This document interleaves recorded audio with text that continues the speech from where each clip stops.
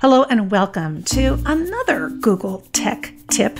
And we are going to be talking today about Google Chrome. Now, you might be using Firefox or Safari or some other web browser, but I'd like to show you something kind of slick that Google Chrome can do for you as your web browser. So let's head to google.com. And here at Google, let's say that you found an old postcard or a photograph in your family history materials, a, a scrapbook, uh, maybe it was tucked in a book, who knows where it came from, but you have this image, this photograph, and you've scanned it, so you have a digital copy, and you want to try to find out what it is. Where was it taken, right? Well, for better known sites around the world, Google Chrome can help you do this. When you're at google.com, you'll notice that um, typically there's just the search box and the Google search button. But when you're in Google Chrome, up here in the right hand corner, you do see the images link. Usually you'll have to run a search and then you have options for images and videos and maps and that kind of thing. But we're going to click images right out of the gate. Now notice something different in the search box.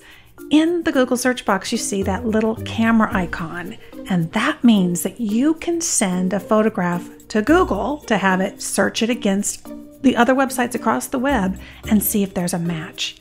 So if I click on the camera icon, I can do this in two ways. If I found this image on somebody's website, I could put the URL, um, the address for that particular image right in here. I could copy it from a web browser and paste it in. But in this case, I have a digitized image. So I'm going to click Upload an Image. And here you can see that familiar Choose File button. We're going to be able to go onto our hard drive and find that image that we scanned. Here it is. Click to select it and open it up. Immediately, here you go. the magic happens.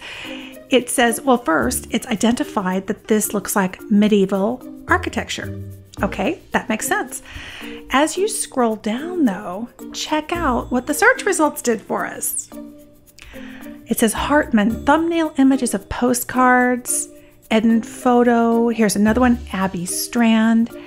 Ah, I'm getting the feeling that this is in Edinburgh. Let's click this one here.